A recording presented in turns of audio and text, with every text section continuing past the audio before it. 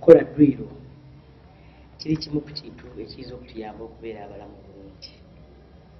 Nze buli lwe mba mu kyalo mbeera wano mu jimu ate ah, nakola ekifo kino mu- nkumi bbiri mu kumi na munaana ekigendererwa nga kyakulaba nga naddala abakozi baffe ku disitulikiti ololaba banene balina emirembe naye emirembe yinza otubeeramu ebizibu paka olabira ddala nga banafu bannayuganda bannange ekigambo kya dwiru kikulu nnyo.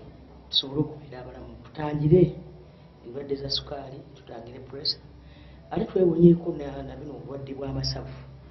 Singa nze ndooza saakolanga dwiru singa siri fiti naye olaba nti buli exercise gye baleeta asobola okukola ki? Okugikola.